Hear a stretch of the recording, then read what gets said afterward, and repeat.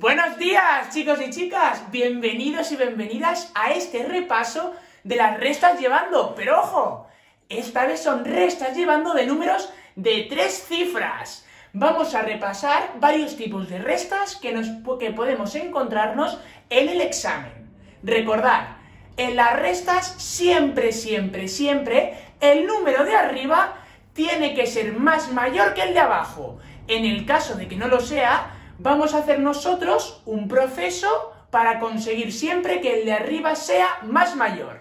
Vamos a empezar con esta resta. Tenemos el número 324 y lo vamos a restar a 106. Como siempre, vamos a empezar por las unidades. ¡Vamos a ello! Tenemos arriba el número 4 y abajo el número 6. Esto no se puede restar. Vamos a hacer que el número de arriba sea más mayor. ¿Y cómo se hace eso? Muy fácil. Vamos a sumarle 10 al de arriba. Por lo tanto, si le sumamos 10, simplemente le tenemos que poner el número 1 delante. Y en vez de un 4, se ha convertido en un 14. Ahora ya sí que podemos hacer la resta. Pero ojo, como le hemos sumado 10, nos vamos a llevar una. Entonces, para que no se nos olvide, siempre que pongamos el 1 aquí, vamos a ponerle un más 1 a las decenas del número de abajo, es decir, al 0. ¿Por qué? Porque nos llevamos una. Entonces ahora sí que sí vamos a empezar la resta. De 6 a 14 vamos a usar todas las manos. 6, 7, 8, 9, 10, 11, 12, 13 y 14. 8. Pasamos a las decenas, pero ojo, antes de empezar la resta, siempre vamos a sumarle la que nos hemos llevado. Para que no se nos olvide, lo que vamos a hacer es lo siguiente.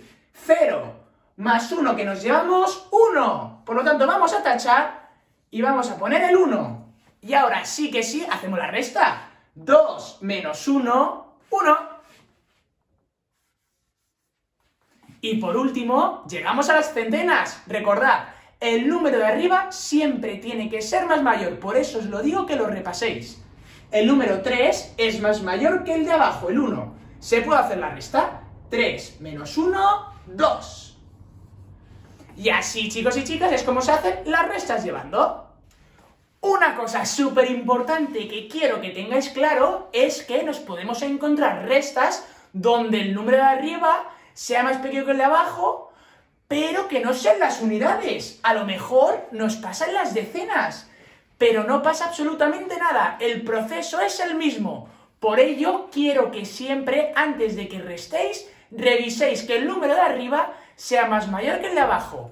Vamos a hacer este ejemplo. Tenemos el número 639 y lo vamos a restar al número 475. Como siempre, empezamos por las unidades. El número de arriba, 9, y el de abajo, 5. ¿Se puede restar? 9 menos 5, 4. A continuación, pasamos a las decenas. Tenemos arriba un 3 y abajo un 7. ¡Eh! Aquí no se puede restar. Tenemos que hacer la mecánica de siempre. Que el número 3 sea más mayor que el de abajo. ¿Y cómo lo hacemos? Sumándole 10. Por lo tanto, Ponemos el 1 delante y en vez de un 3 se nos ha convertido en un 13. Pero ojo, si le sumamos 10 nos vamos a llevar una y eso hay que ponerlo antes. Ahora sí que sí podemos restar. De 7 a 13 vamos a usar las manos. 7, 8, 9, 10, 11. 12 y 13. 6. Finalmente, solo nos falta restar las centenas. Pero ojo, antes de restar, no, no hay que olvidarse que nos hemos llevado una. 4 más una que me llevo, 5. Por lo tanto, vamos a tachar y lo ponemos. Y ahora sí que sí, restamos. 6 le quitamos 5 y nos va a dar una. Y ya tenemos la resta completada. Y llegamos al último tipo de restas, donde tanto el número de arriba de las unidades y de las decenas es más pequeño. Pero no pasa nada, tenemos que hacer el proceso dos veces. Así pues, voy a enseñaros cómo se hace. Tenemos la resta 532 menos 478. Vamos a ir paso por paso, como siempre. Empezamos por las unidades. El número de arriba es un 2 y el de abajo es un 8. Esto no se puede hacer. Vamos a hacer que el 2 sea más grande. Le sumamos 10. Por lo tanto, ponemos el 1 delante. Y nos vamos a llevar una, acordaros. Ahora sí se puede restar. De 8 para llegar a 12, 9 10, 11 y 12. 4. Pasamos a las decenas. Lo primero de todo es sumarle el 1 que nos hemos llevado. 7 más 1, 8. Y ahora hacemos la resta como siempre. Nos fijamos en el número de arriba, el 3. Nos fijamos en el de abajo, 8. ¿Se puede restar? No, el número de arriba siempre tiene que ser mayor. Hacemos el mismo proceso.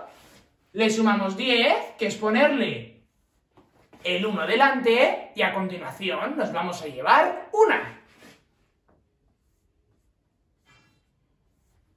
Ahora sí que sí, vamos a poder restar.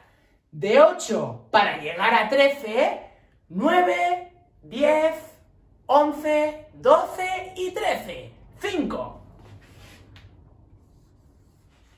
Finalmente, llegamos a las centenas. Primero de todo, antes de restar, sumamos la que nos hemos llevado. 4 más 1 que nos hemos llevado, 5. Y ahora sí que si restamos 5 menos 5, 0. Yo os lo voy a poner, pero que sepáis que el 0 en la izquierda no hace falta ponerlo. Y esto, chicos y chicas, sería todo. Recordad que aparte de las restas llevando, también practicamos los números. Pero ojo, los números los lleváis súper bien. Así que mucha suerte y gracias por escucharme. Adiós.